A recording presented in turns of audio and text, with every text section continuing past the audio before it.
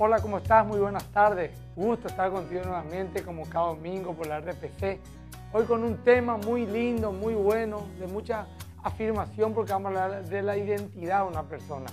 La Biblia dice ahí arrancando nomás ya en Génesis 1.27 que fuimos creados a imagen y semejanza de Dios. Y hoy en día vemos un mundo donde la gente carece de un reflejo donde mirarse y decir yo tengo que ser así. Cristo es el Dios hecho carne, el Dios hecho hombre. Y Él nos trajo la imagen de Dios a la tierra para que al verla a Él podamos saber cómo es Dios. Y lo que el Señor quiere es que todos tengamos el carácter de Cristo. Un, un, carácter de amor, de fe, de mansedumbre, de esperanza. Un carácter conciliador, de reconciliación.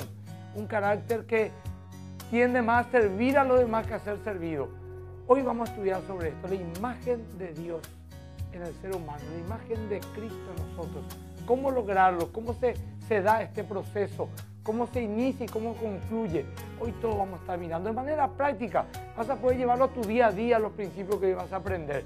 Y si te animas a creer y a seguir lo que la palabra de Dios dice, tu vida transformará, tu vida cambiará, pero lo más importante, tu eternidad será otra, será en la presencia de nuestro Dios.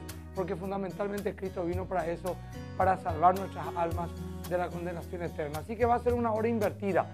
Te aseguro que no te vas a aburrir, al contrario, te vas a enganchar y vas a darte cuenta que la Biblia sigue vigente y es práctica para el día a día.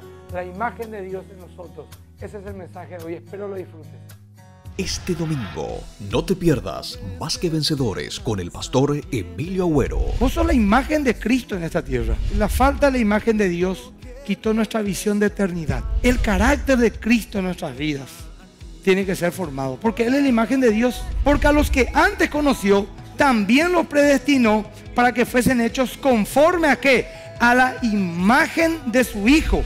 Más que vencedores, este domingo a las 17 horas por la red paraguaya de comunicación.